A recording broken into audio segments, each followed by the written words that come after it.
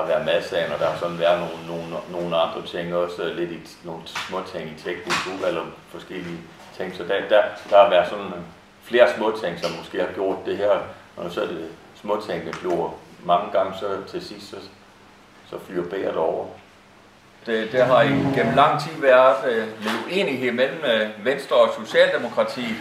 og vi har ikke fået det politiske forslag øh, til at fungere, så derfor har besluttet jeg mig hen over weekenden for at tage et møde med Borgerlisten og Dansk Folkeparti med henblik på at få lavet en ny borgerlig konstituering, og øh, det er jo så lykkedes med, at vi har fået lavet en ny konstitueringsaftale, og det indebærer jo blandt andet, at vi skærer økonomiudvalget ned til fem og laver et nyt turist- og erhvervsudvalg,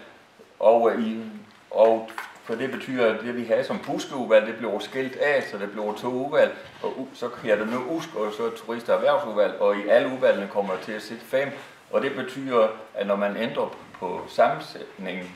af medlemmer i udvalgene og et nyt udvalg, så skal der en ændring til vores styrelsesvedtægt, og øh, det, det skal betyde så, at der skal være to kommunalbestyrelsesmøder ekstraordinært for at ændre styrelsesvedtægten, og det første blev holdt på tirsdag kl. 16, og det næste blev holdt kl. 17 mandag den 22. Og efterfølgende, når vi har vedtaget styrelsesvedtægten anden gang, så er det konstituerende møde, så læser vi er klar til at trække i arbejdstøjet efter juleferien. Og konstitueringen har betydet jo, at, øh, at, at formand for Turist- og Erhvervsudvalg, det blev Ulrik Kølle Hansen fra Venstre, med Stefanie Terndrup som næstformand, Uddannelse, Social og Kultur, Jan Ole Jacobsen fra Venstre blev formand, Karina Jørgensen fra Borgerlisten næstformand,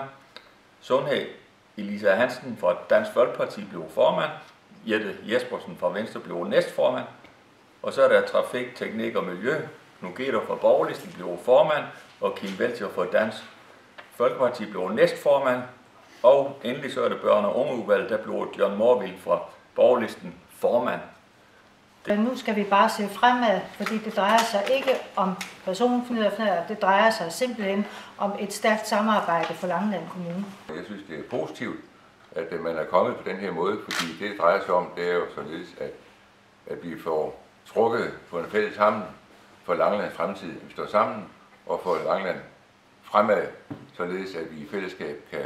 dyrke de her ting, og vi kan stå sammen og få et fælles ansvar om det her,